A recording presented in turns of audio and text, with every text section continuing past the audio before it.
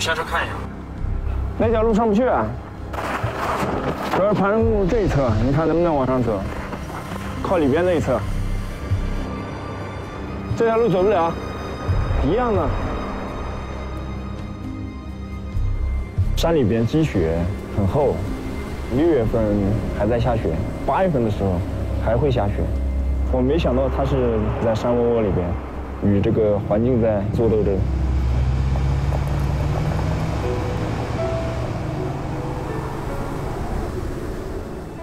那里的环境是艰苦的，现在这个防寒物资保障啊，有没有保障？每天能吃上新鲜蔬菜吗？报告主席，各级对我们边防一线官兵非常关心。习近平称赞他们是为国戍边老典型，勉励大家再接再厉，再立新功。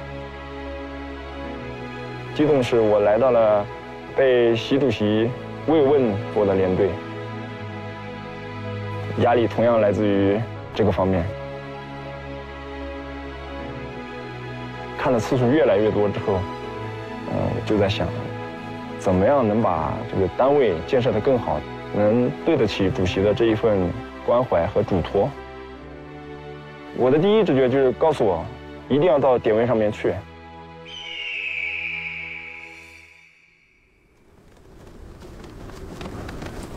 我刚到连队，我还没有任何的表现值得我把名字加到那个队伍里边去。但是在山底下说要登顶五号点位的时候，我觉得那一刻我要把名字签上去。探路者就是以身试险，作为党员，我必须冲在最前面。脚踝那一块要放松一点，第一步踩稳，再走第二步。因为那个冰川很滑，有裂缝，站着走根本不可能。带领着我的兄弟们往上匍匐前进的时候，我能听见下面的河水的声音，冰川有裂缝的声音。坚持一下，要过去。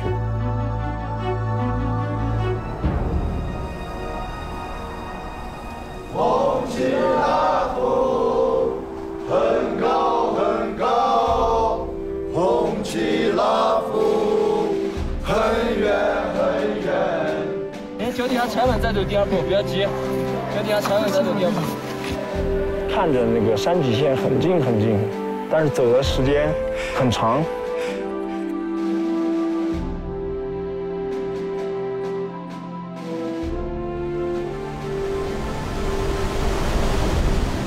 后面一个人把前一个人的背包抓上啊！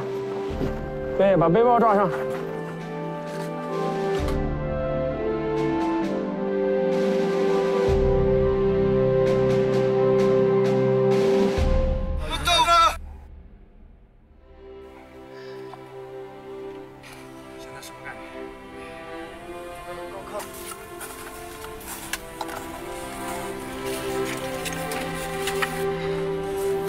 二零零一年八月十五日，连队的老边防刘卫国给大家留的话：红旗拉府的官兵们，希望你们也加油，能够爬到五二八三来。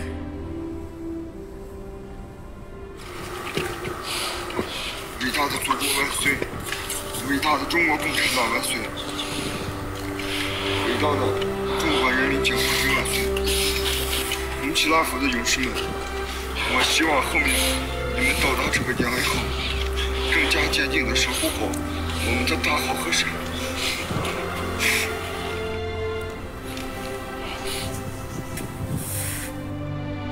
今天终于登上五二八三了，我们也没有辜负主席的嘱托，为祖国守好了边防。立新功，首要的就是要踏实的把现在的工作，把我们脚下的这个领土边境守好。这个保温杯，在红旗拉夫的历史上可以一直流传下去。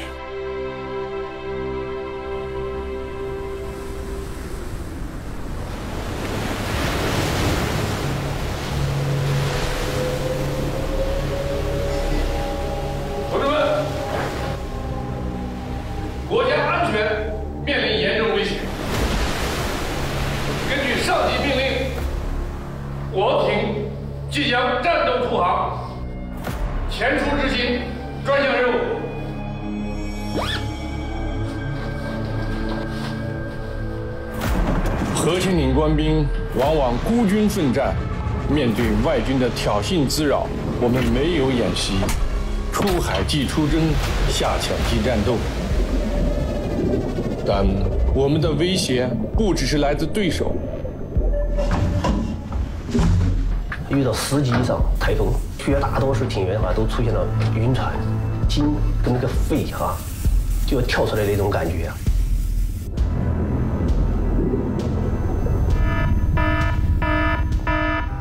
武藏镇西路，站住！警跟你过路。是站住吧，跟你过路。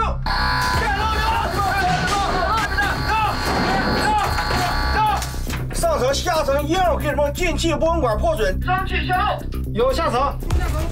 堆仓出来蒸汽，如果不得到及时控制的话，堆仓堆芯会出现严重的问题。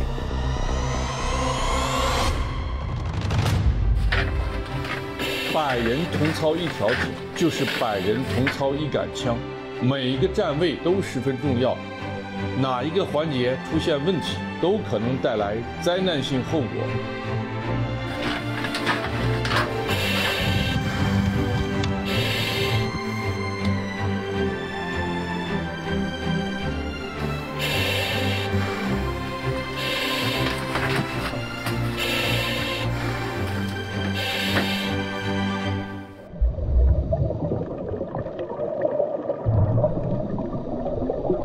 天是出航第十五天，我艇目前潜航深度一百三十米，顺利进入预定海域。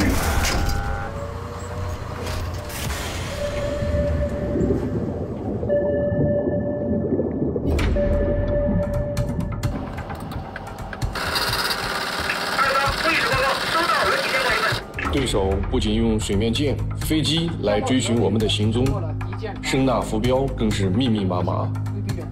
习主席强调，潜艇部队战斗在深海大洋，使命光荣，责任重大。我们每小时扫除舰个野猫数一次。面对复杂敌情，往往是情况越紧急越不能上浮。及时判断目标的运动态势，规避远离；雷达武器和水面对抗器材备变，做好随时防御和反击准备。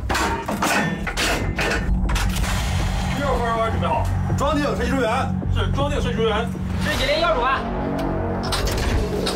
一号发射管预备好，要三两幺发射。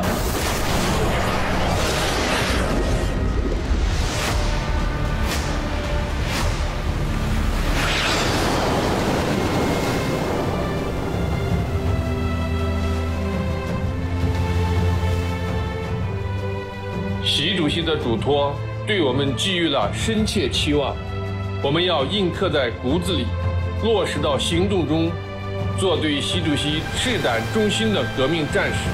正是靠党对军队绝对领导的一整套严格制度，我们始终做到前出大洋不迷航，置身深海心向党。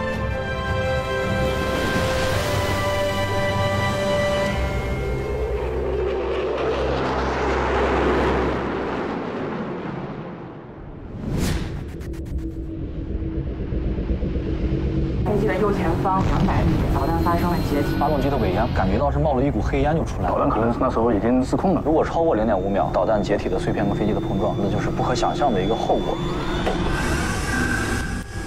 太快了，一瞬间。鸡哥没事吧？鸡哥没事吧？回来就好，回来就好。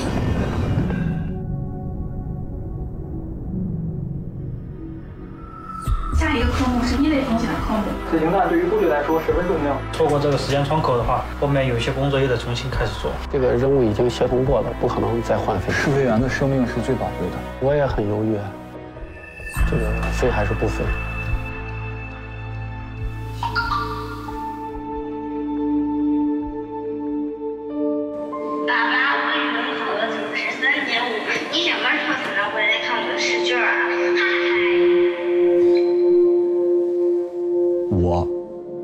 我们，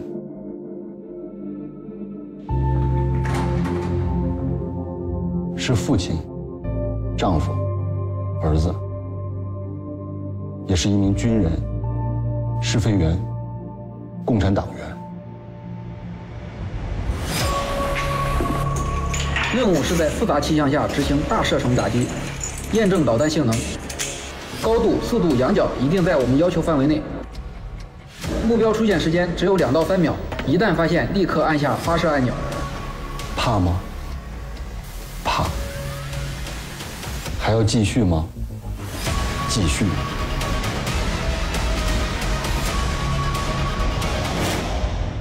大家如果现在好，可以起飞。这个啥也看不到。现在距目标二十六，这往前飞可能会好点。应该就是在这，咱看不清了。不行，用红你试试呗。看不清了。左下角这个，是吧？看不清，你试试。等会实弹进入的时候，你自行发射。明白。瞄准目标。保持好分钟。三秒，两秒，一秒，二秒，又打上了。幺幺二命中目标。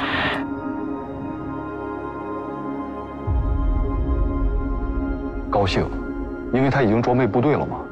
实际上，在我们的行当里面啊，几乎每一个人都会大大小小遇到很多次特情，但是在生活中，我们很少谈论特情啊、牺牲啊这些事儿，很少谈论。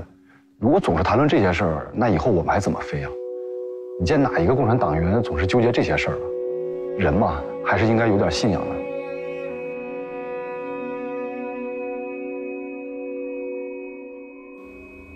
这面墙呢，它左边是英模榜，右边呢是英烈榜。英烈和英模有时候就是一墙之隔，一念之间。这种事情，我已经经历了好多次了啊。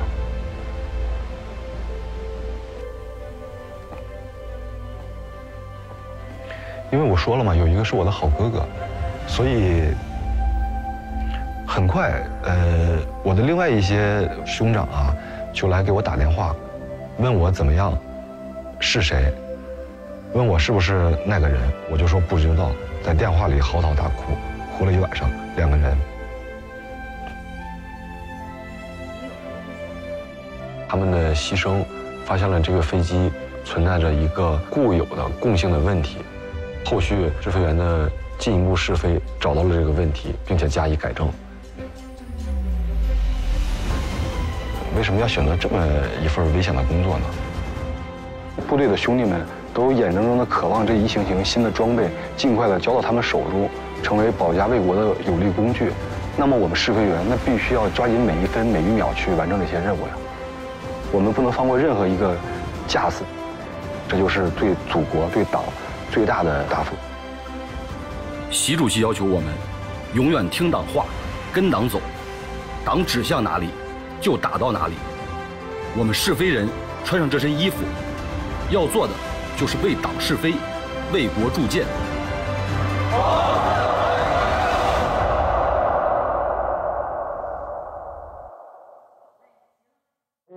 在那一瞬间，也没有想太多，只是想要尽自己最大的努力，保住我们的科研样机。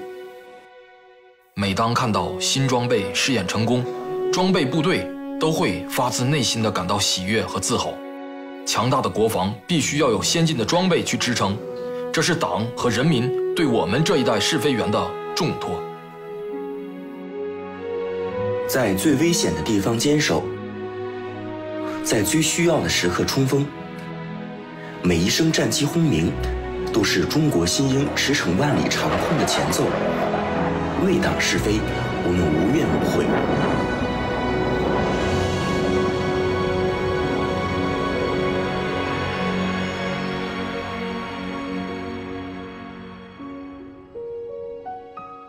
二十五年前的邓清林，你好，此刻我正从距离地球四百公里的中国空间站，凝视着窗外的蓝色星球。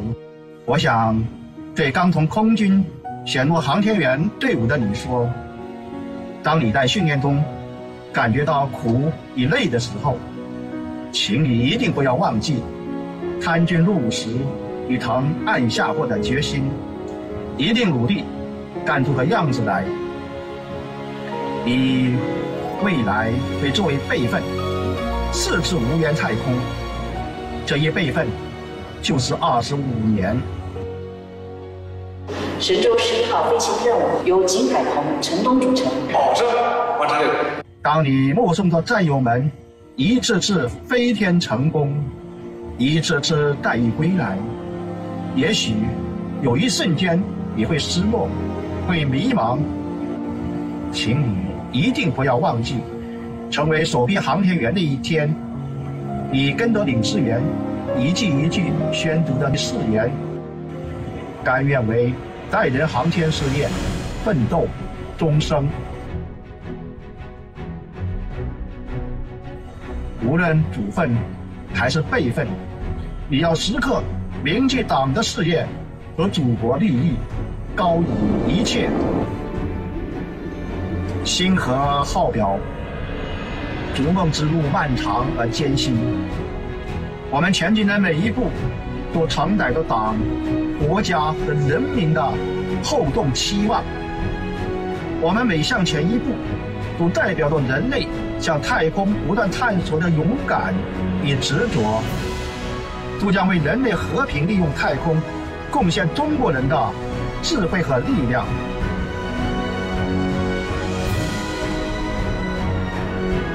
业火！当二十五年后的我，从天宫窗外眺望我们的祖国的时候，我衷心的想对你说一声谢谢，谢谢你为梦想拼搏，为信仰奋斗，让我有机会把对党的无限忠诚镌刻在浩瀚苍穹。